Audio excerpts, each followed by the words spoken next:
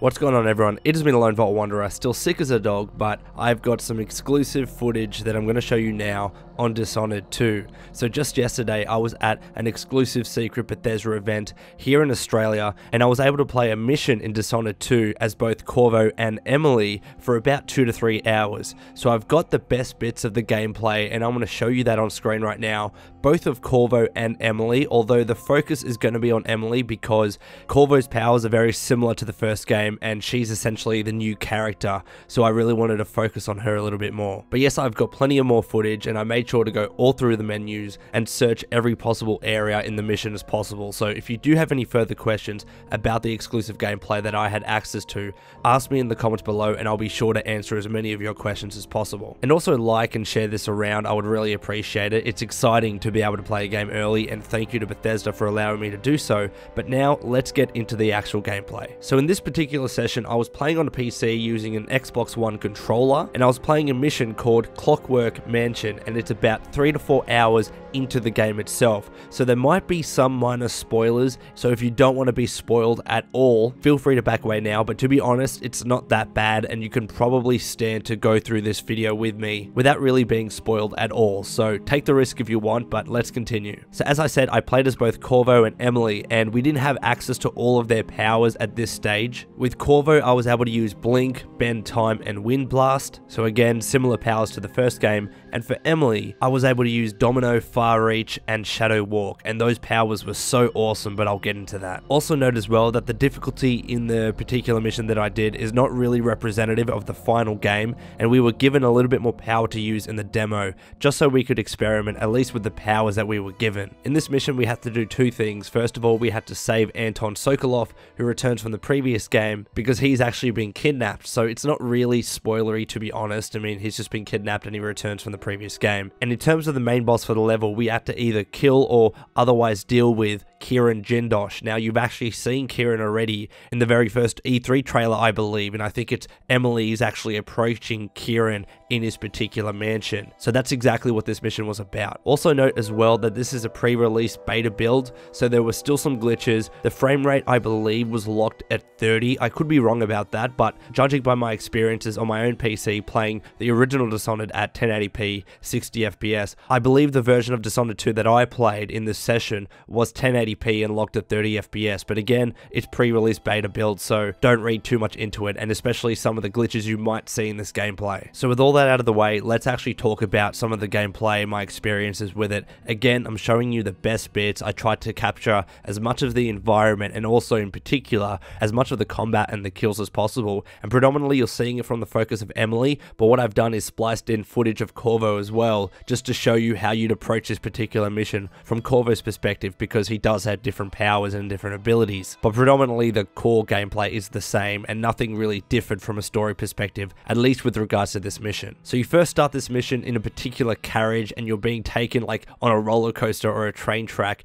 towards the drop off point and the first thing that I want to say is that the setting is just really cool and interesting. First of all, the way you actually enter it, I find to be pretty fascinating. The buildings have a distinctive art style, and when you get to the top of the carriage, you just have this awesome, beautiful view with the sunset. I think it just looks absolutely gorgeous, and that's one of the things I really want to emphasize about this particular build and this particular gameplay that I had access to.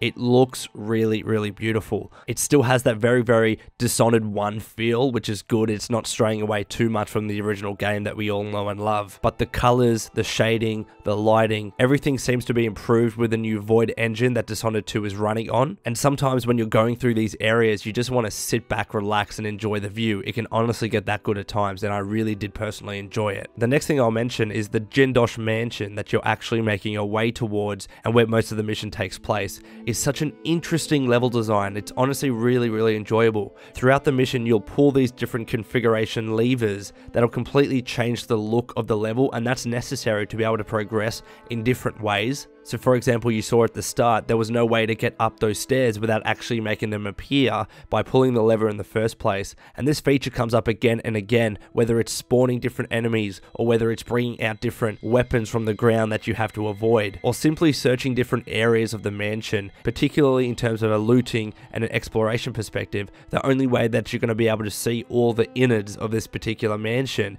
is by pulling these levers and gaining access to different areas. One of the cool aspects as well is that when you actually encounter Jindosh through the window or through the glass, he walks towards you after pulling a lever and the path falls in front of him really cool like. I don't know how else to describe it. It's kind of like this cascading pattern of the path falling in front of his feet. I just thought it looked really cool. To be honest, I don't want to talk much about what Jindosh was actually saying because it's fairly story related. Even though there aren't that many spoilers, I feel like that's something people should enjoy for themselves, but at the very least you can see what he looks like and see the gameplay. The next thing to point out are the Clockwork Soldiers, which are certainly the main and more powerful enemy in this mission in Dishonored 2, and you can take them down many different ways. You can simply shoot them with a pistol or use the explosive bullet pistols. You can shove your sword in them and it shows a quick time animation of you like slicing them and making them explode and seeing electricity go everywhere. You can throw a grenade, you can use the wind blast if you're Corvo. A cool way to kill them is if you're Emily and you're using the shadow walk technique and sneaking up behind them and then using the unique ability to kill them. It just looks absolutely awesome and I found that that was my favorite way to kill enemies because you can be very sneaky and the end result looks so cool. But in terms of the weapons that I had access to, they were very similar to the original Dishonored. So you had a crossbow, you had sleeping darts, you have the heart which is able to detect runes and I was definitely detecting one as I was playing it, but unfortunately either I didn't find it or the area wasn't accessible in this particular build. But then you got the pistol, the exploding pistol, grenade, stun mine, and the spring razor. So these are all very familiar weapons coming back from the original game. So it's really in terms of the powers that Dishonored 2 makes its difference, especially with Emily. Now of course I don't believe we had access to all of the weapons, but we definitely had a few that we could experiment with and kill enemies in different ways. Definitely one of my favorites with Emily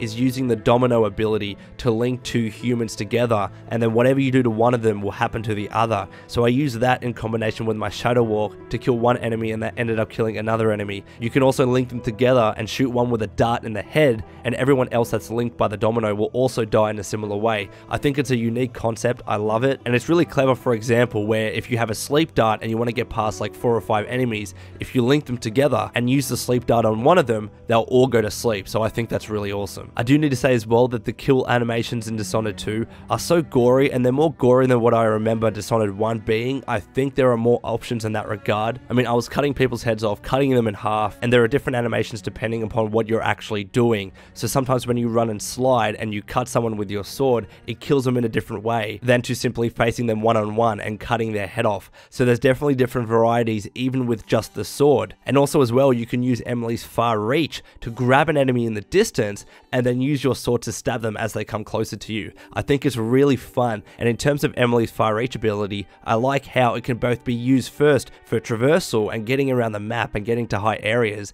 similar to Corvo's Blink, but also as well it can be used as a weapon because you can actually use the far reach against an enemy and throw them up in the air, bring them towards you and stab them. It's really cool to use. And I will say as well in terms of the different abilities between Corvo and Emily, they each have their own advantages and disadvantages when you're trying to traverse around a map and avoid traps and enemies. So in the mission there's this one instance of a pylon being in the middle of the room and if you went anywhere near it, it would electrocute you and kill you. Now with Emily, it's very easy to avoid that pylon because her far reach ability makes her so agile and fast and quick moving and gets you much farther than Corvo's blink ability does because the far reach not only does it propel you to a particular spot, you then also jump from that particular spot you've aimed your far reach and go a little bit further too. Whereas with Corvo, when you use blink, you go to that spot. So it might be harder for you to avoid traps in that sense with Corvo. But of course as well, you don't need to kill everyone and you can take a much more low chaos and passive route by using Corvo's and Emily's abilities in different ways.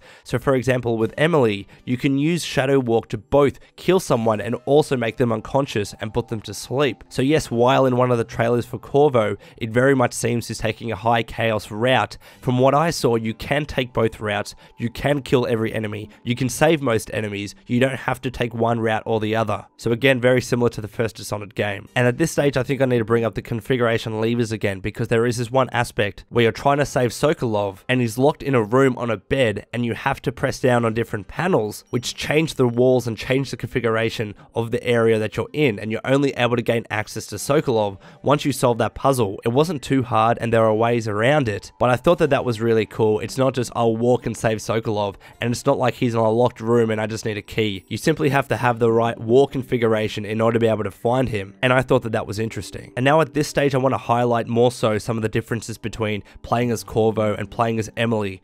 In my opinion, I preferred playing as Emily, and I know I've shown my biases in the past with regards to Emily and wanting to play as her first, but I found her powers to be much more unique and much more fun to use. Again, we only had access to three of their powers each, but linking bodies together with Domino, using the Shadow Walk and also using the Far Reach to both traverse and also kill enemies. I found that there's much more variety when you're playing as Emily and using her powers, whereas with Corvo, Blink is a little bit more limited to what Emily's Far Reach is. Bend Time I see as being very important and useful, but in this mission, Bend Time wasn't necessarily useful. You can only really use it to try and kill enemies, but it still wasn't necessary. I assume that Bending Time will have more of a use in some sort of mission later in the game. And Wind Blast is just a Wind Blast. It helps you push back an enemy and kill them, so I definitely did prefer playing as Emily. I prefer her powers, but if you like playing as Corvo in the original game, he plays exactly how he did then, and he's still just as fun to use. I also again have to point out the particular decor and the artistic style implemented in Jindosh's mansion. I really like the look of it. It looks really cool, unique. It's inspired by Clockwork and hence the name Clockwork Mansion. And I think others are going to enjoy this setting as well. And hopefully this kind of ingenuity and artistic style is implemented in other areas of the game because I really did enjoy Clockwork Mansion. It's like you're in the inside of a watch. It was really, really cool. And then when it comes down to the final part of where you're actually confronting Jindosh, like in the original Dishonored, you can either kill him or deal with him in a different way by powering an electroshock machine in his laboratory and use it to degrade his memory and cognitive function. So killing isn't always the answer, which I like, but in this mission at least, if you want to take that other route and not kill Jindosh, there's a little extra you have to do to power the electroshock machine, but if you want to do a low chaos playthrough, that's the price you pay. And then when you've dealt with Jindosh and you've completed the Clockwork Mansion, you then reconvene with Sokolov and you go to the Aventa District. No idea what the Aventa District is, it seems like it's going to be that hub location like you had in the original Dishonored, but we'll have to wait and see. So anyways, Wastelanders, I hope you enjoyed this exclusive look at Dishonored 2. It was really awesome to play this game and play this mission early, so I need to thank Bethesda for that. Let me know what you thought about the gameplay in the comments below. Again, if you had any questions about the remainder of the mission that I played, also ask me and I'll answer as many questions as possible. Don't forget to like and share, subscribe if you're new, and until next time, this has been the Lone Vault Wanderer. Please take care of yourself, and would you kindly keep fighting the good fight.